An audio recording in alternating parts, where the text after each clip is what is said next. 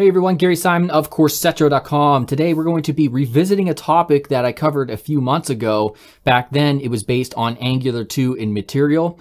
Now it's going to be Angular 4 in Material. And this time we're not just recovering it just because Angular 4 came out. It's because there's breaking changes associated with using Material in Angular 4 compared to Angular 2. So that tutorial that I wrote a few months ago no, no longer works with the new Material design. So I'm going to cover the new process of integrating and using material design. Let's get started.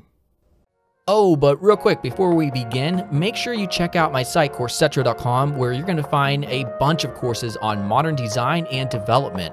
A lot are free, and the others you can access for the cost of buying me like a six pack each month. That's it. Now, also, it probably wouldn't hurt to subscribe here on YouTube, and be sure to make sure the notifications are turned on.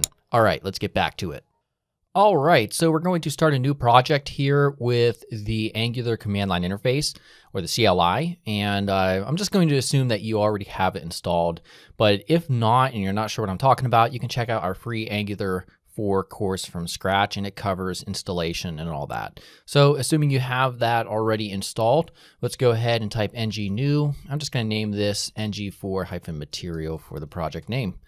Now it takes a couple minutes, so I'm going to go ahead and pause. I'll come right back. All right, once it's done, let's go ahead and CD into it. All right, so now we're going to use npm to install two different packages. So npm install, we're to save it to our package.json, Angular material, and also at Angular animations.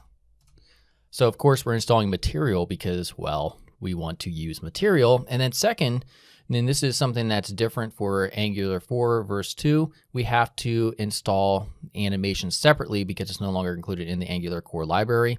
And we're also installing it here because material components, some of which need access to the animations library. Okay, so now let's go ahead and just run our app.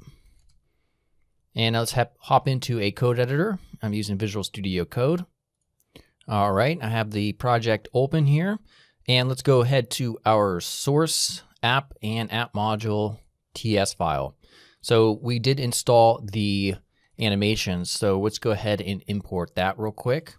So the line for that is import browser animations module. All right. And then we add that as an import, put a comma there. And then also what's different compared to the Angular 2 material is we're going to import just the modules or the components from material that we intend to use. Okay, so let's go ahead and real quickly, I'm, I'm following along on the written tutorial. I'm just going to paste in that line real quick. So I'm importing, I plan on using the buttons, cards, menus, the toolbar, and icons. So there's a lot more, of course, depending on what your needs are. So let's go ahead. Also, I'm going to import all of those after our browser animations module. So that's those six right here, or five rather. Sorry about that. All right, so let's save that. And one thing you may be wondering to yourself is like, well, okay, well, how do you know the names of these? Well, that's when we get out the official Angular material documentation which is right here. So we could see if we click on any of these, like menu, for instance, say, let's say, for instance, you want a menu. Well, we'll go ahead and click on API reference, and there you go. It lets you know the module name for that particular component. And then basically it's the same thing for all of these. Okay, so let's go ahead and save this. Control B to get up here. And from this point on, I mean, basically that's all the setup is required. You just have to make sure that you import the necessary modules here as well as in the imports based on what you want to use. And then you're free to develop your application and work with your template in integrating the uh, material components in here. So before we get to the HTML section, I just want to real quickly do a mock, uh, just a very simple sort of I wouldn't even call it an app. I would just call it a demonstration um, about how to use material. And of course, I, this is not a tutorial that's going to go in depth in terms of how to work with uh, Angular, Angular material. Uh, but again, it's just to show you how to use it real quickly.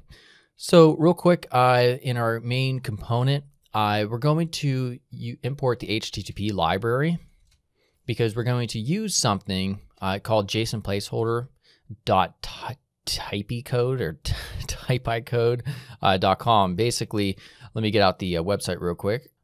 This is it real quickly. And basically, it just provides you with different uh, JSON endpoints that you can uh, grab JSON data from. So we're going to use this photos right here. And just to get uh, just some dummy data just to work with. And we're going to use uh, material cards for that just to list some of those out. All right, so let's go ahead back here. Let's get rid of this title property. So let's create a property real quick. I'll call it my data. It'll be a type of array of any. And then in our constructor, we'll put private HTTP, an instance of the HTTP library right there.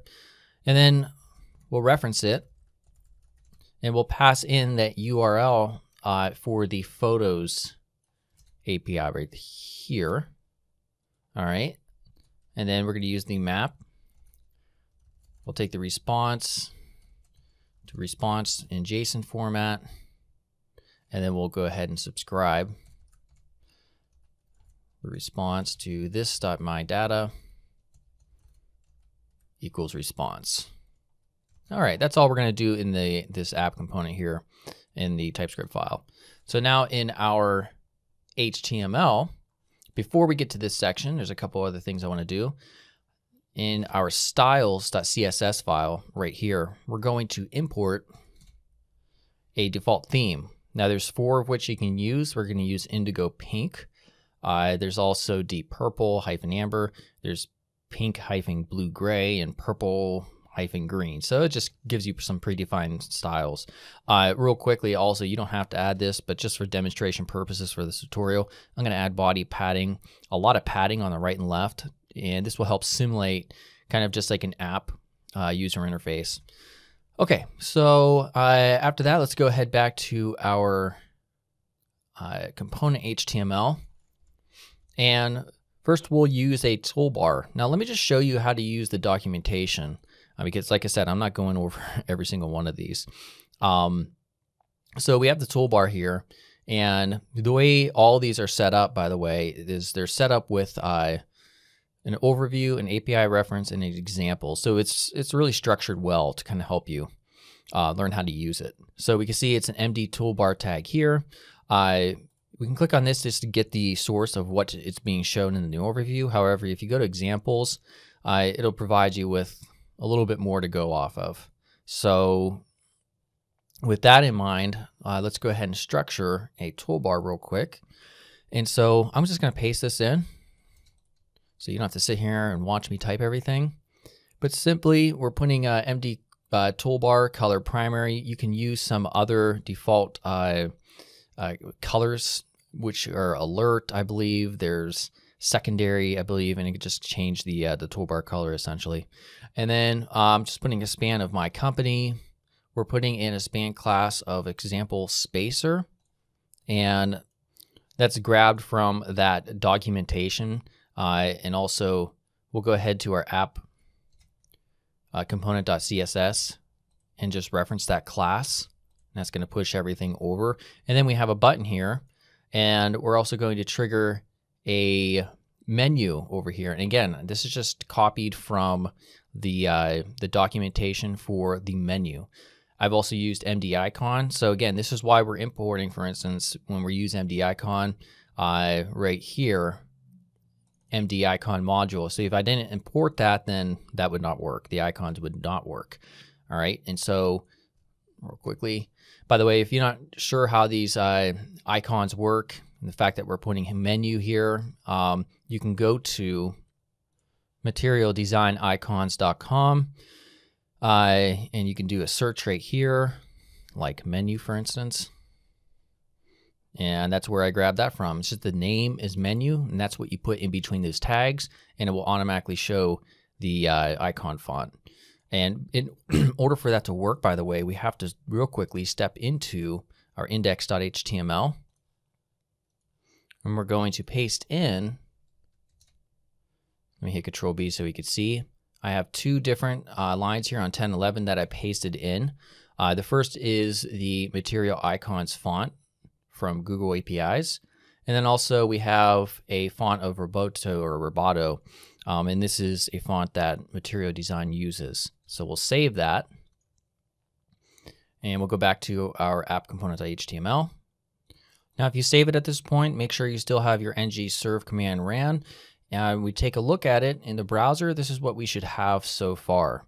Uh, let's make sure this works. I, I, thought that was supposed to work. Oh, no, we didn't uh, add the actual menu. Um, we add that through MD menu right here. So we create a local variable of app menu. And this is referenced, by the way, right here for the MD menu trigger for. So we bound it to a local variable called app menu. We defined it here with an MD menu component. And then for each button inside the menu that's going to pop up once this is but this button's clicked, then we create an MD menu item as a button. So let's save that. And now click it and ta-da, there we go. So we can use uh, click event binding or whatever to make certain things happen here and control it from our component class.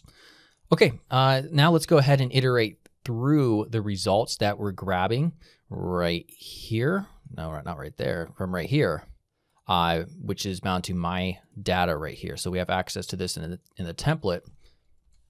And I'm just going to paste in the first line.